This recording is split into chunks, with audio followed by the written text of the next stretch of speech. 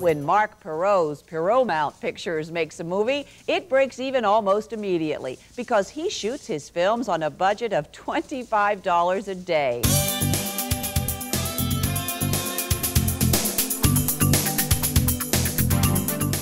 It's Death Row Game Show, where contestants are convicts. Before you lose your head, we'll give you a chance to win some money for your family.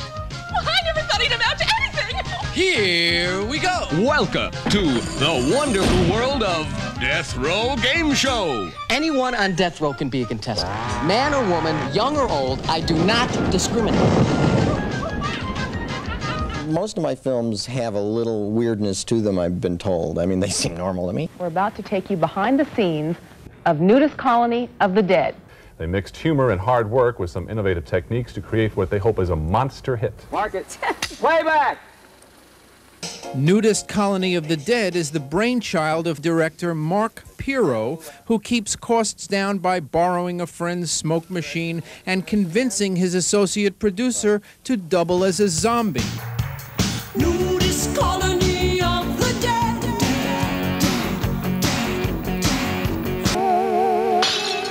A Polish Vampire in Burbank a comedy in the horror genre. Well, that was the first project I really did, and it was my first feature film. Uh, we made it for $2,500. It ended up wow. buying me my condo. I mean, nobody expected that movie to do anything. We made it as a showcase.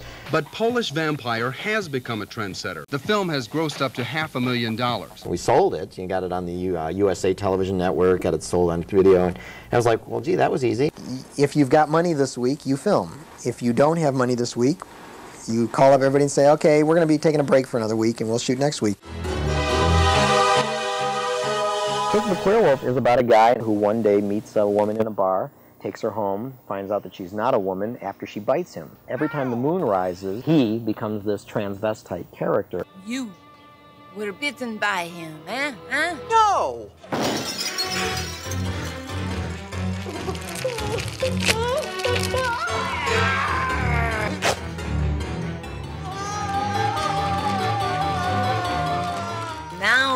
Change upon the next full moon.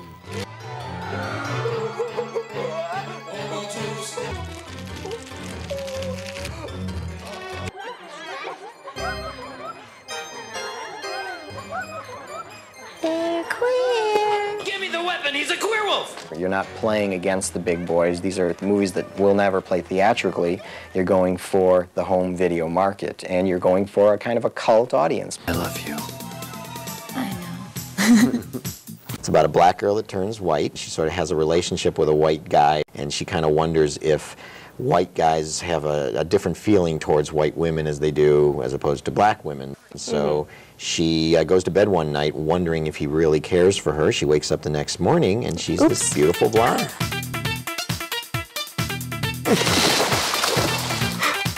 It's me, Tess. I'm Melanie. What kind of crazy shit is this? I'm just as baffled as you are. I went out to dinner last night with Dave. I didn't feel well. I came home and went to bed, and I woke up this morning and I'm Heather Locklear. What would you be willing to do to save your life? You got the problem, I got the treatment. Rectuma is the motion picture about a giant ass. Can I say can I say giant?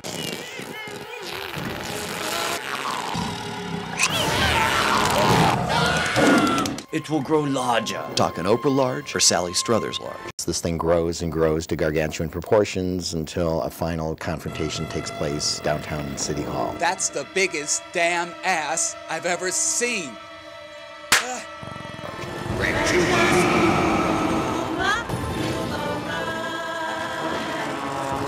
Well, this is a uh, story of the Bible, and uh, they haven't really made a really accurate telling of the Bible in years. I can do things to you, Mary. Amazing things. I can't be pregnant. If these was primitive times, we'd have you stoned. Why weren't you using protection? Wait a second. These is primitive times. Nurse, give me some rocks, you whore. This man is responsible for breaking up my home. I did not have sexual relations with that woman.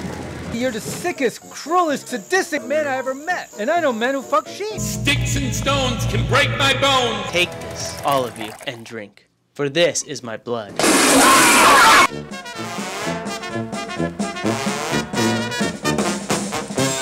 You stay away from my mother.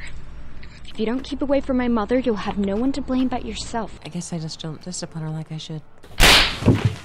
This is about a 15 year old sociopath who doesn't want anybody dating her single mom. She wants me out of the way, and she knows what it takes to make that happen. A character named Vincent Marsden, who is a school teacher, and he wants to date her mom, and she doesn't want it. She won't have it. So she goes to incredible extremes to prevent him from seeing her mom. You're under arrest. What? This is a setup. She's doing this to get me out of her mother's life. What you did to him was inexcusable. Do you really think he'd like you if you weren't attractive. Uh, the new film is called Celluloid Soul, and it's about a actress from 1930s who appears today. The thing about this person is that she appears in black and white. I think this obsession you have over this actress is a little too much. I never dreamed that you would actually still be around. She's coming here tonight. I've never had a monochrome woman before. It's all monochrome in the top. Had you ever had trouble distinguishing fantasy from reality before? You had sex with a film clip, did you? You guys don't think I'm crazy, do you? I feel so bad for him. I love you, Monty. Rudy's a good boy. He'd never hurt anyone. What the hell was that? We're heirs to some rich guy's fortune. His estate is worth over half a billion dollars, and I'm up for a piece of it. I may come back with a healthy inheritance.